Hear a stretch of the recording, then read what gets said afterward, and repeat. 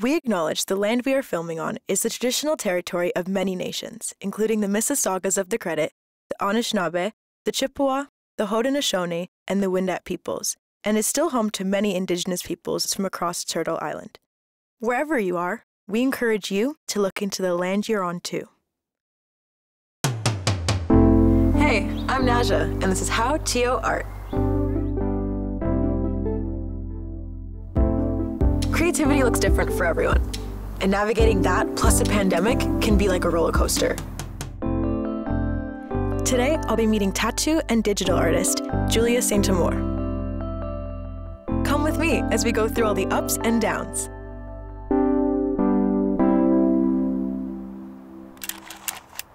My grandmother she had this little studio in her basement that she would do all her watercolor. And she would take me and my cousins down there and we would paint all day. Art has been the only way I've expressed myself. It's, it's the only thing I've known, just to draw and make things. Getting to know people and connecting with them, the only way I could do it was through my art. Hey, my name is Julia. I'm a tattoo artist, and this is How T.O. Art.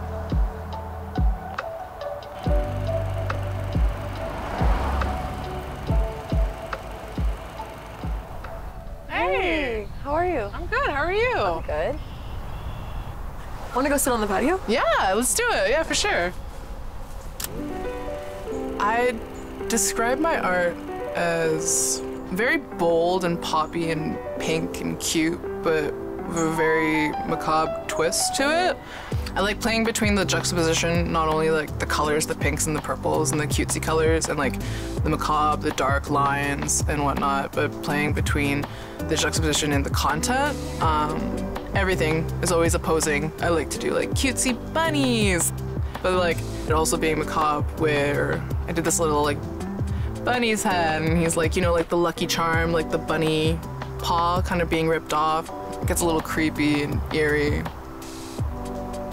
My tattooing, it's been a lot of me making nothing and just like putting my all into trying to get to the point where my art can support me.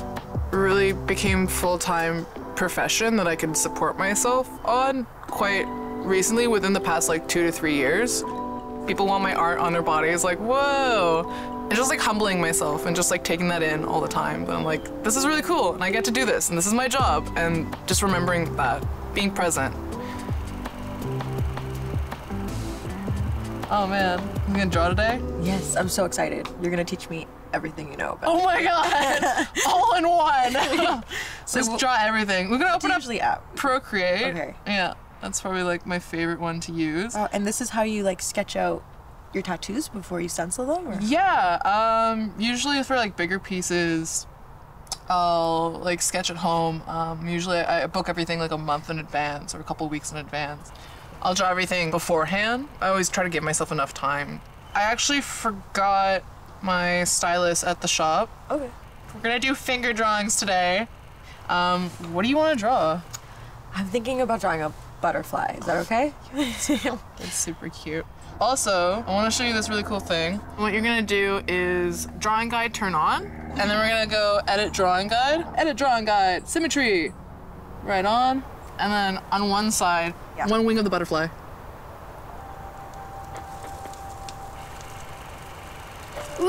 this your is so cool. As I'm drawing it, it does the other side. That's actually sick. That's actually so sick. Because whenever I do butterflies, one side's always like really big and the other mm. side's a little bit you know, Yeah. janky. So. yeah, I love it. And then we'll do like a moon moth or whatever, the Luna moth. Do you know what those are? no. They're like What are those? these really beautiful moths. It doesn't even have to be perfect. Nothing in life is perfect. Let's put some texture in there. Yeah. Okay, how do I do that? All right, so we're gonna pick a different brush. So you're gonna pick like a texture brush. I have a lot of brushes on mine that I've gotten from other artists in the city. Everyone's so kind. Ta-da! Cool. Oh, that's so awesome. I like yours. Yours is looking really great too. Thanks. Do you have other stuff that you've done? Yeah. Um. Do do do do. Ooh, is this what you did? Yeah, this is one I'm working That's on. so I'm gonna. This is probably gonna preview. I'm, I can show you a video replay. Um, but if I'm working on it, Oh, of how you drew that. yeah. So Oh it, my it gosh, records. that would be amazing. it records the whole thing. Um, Start to finish. yeah, start to finish. So that's me like sketching out when I start doing like positioning and like that's the background where the thigh is. You actually like outlined the body first, yeah.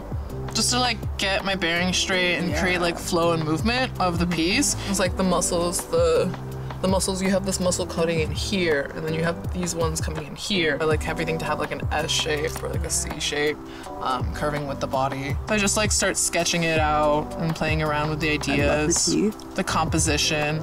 That's why I like tattooing. because I like working with someone and getting their ideas and bringing it all together. How did you come up with retro mutilation?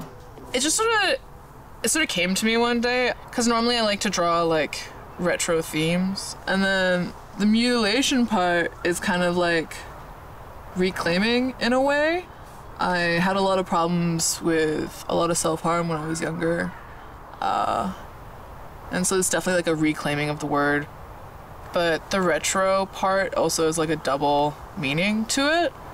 It also stands for like uh, in retrospect. Retrospect for me, just going throughout my life, there's been like so much stuff that's happened to me, and it's always like, oh well, in retrospect, I could have done this. In retrospect, you know, I could have said this, and I've, always sort of like thought about that.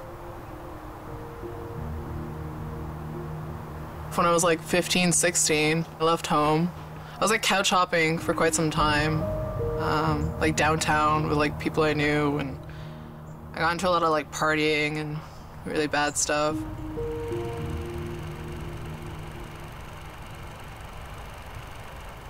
Why did you move out at such a young age? My dad and my mom, um, we just weren't on good terms around back then. It was just like, oh, we were always at each other's throat, and I've always sort of like run away from my problems. And then I dropped out of normal high school, went to a really awesome alternative high school, which helped me quite a bit. And then after high school, I was like, I just want a tattoo. That's all I want to do. I got a side job, nonstop search for apprenticeship. Finally got an apprenticeship. Why did you feel like you had to move home? Around the time that like my first apprenticeship, um, both both my parents were like diagnosed with cancer. Um, so I had to like I had to like quit my job and quit my first apprenticeship. I lived with my ex. I was like in a really abusive relationship. It was just like all these sort of things just sort of constantly berating me in life. And I didn't feel like I could do it. So I moved back with my parents. Um, and like around that time, it just felt like everything was like one thing after another. Everything was like falling apart. And then just like, I think it was just time for me to come back to Scarborough. Because it's my home.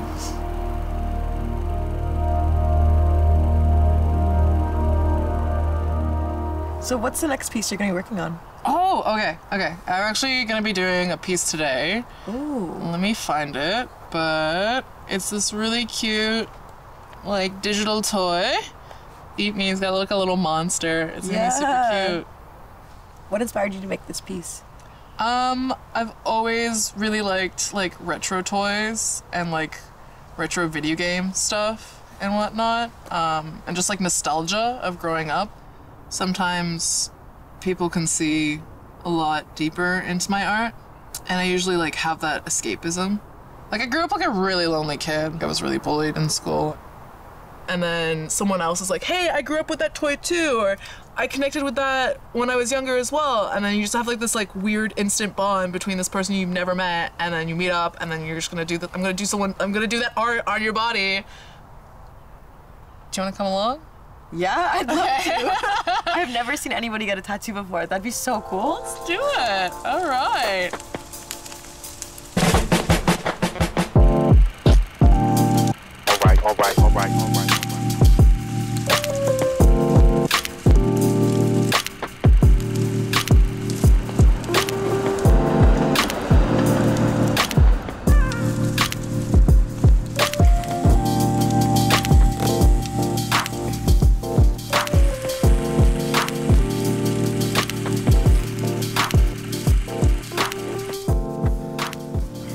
Do you know how hard to press?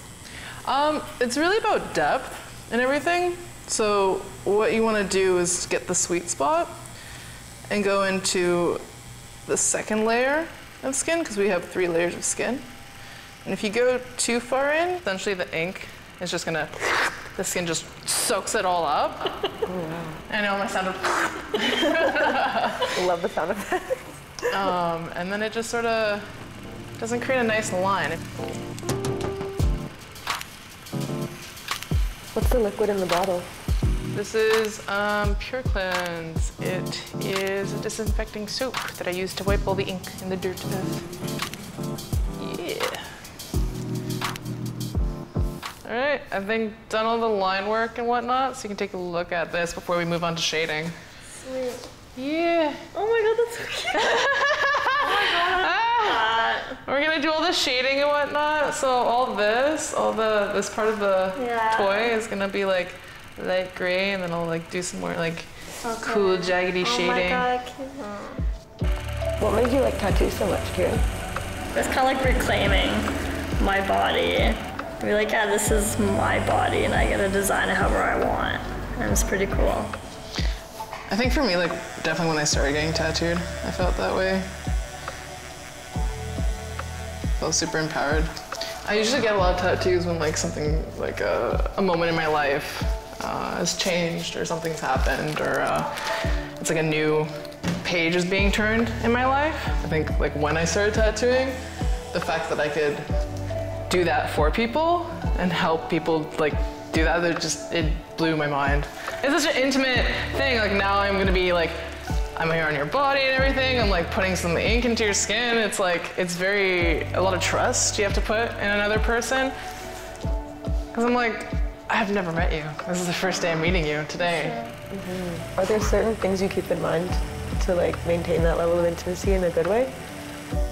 Consent, for sure. Is it okay if I touch touch this part? Okay, I'm gonna move the, your leg. I'm gonna move your sleeve up, kind of thing. It's like consent, 100%. You always have to ask.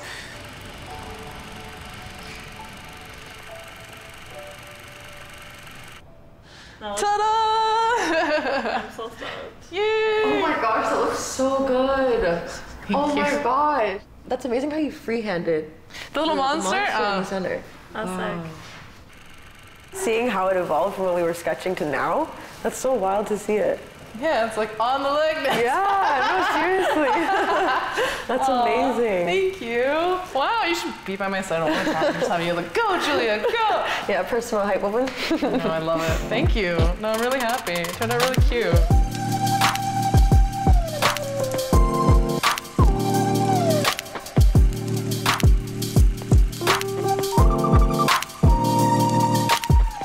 There you go. Yeah, I'm so stoked. Thanks so much for doing my tattoo. It looks amazing. Thank you so much. I had such a blast doing it for you. and thank you for letting me be a part of this. It was an amazing experience to watch. yeah, thanks for being such a great company. It's been, it was really fun.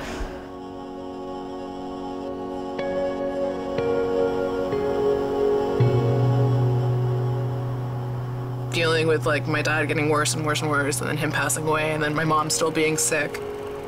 And then I wasn't tattooing for quite some time. So I just sort of like lost myself. I was just so distraught and so broken from everything.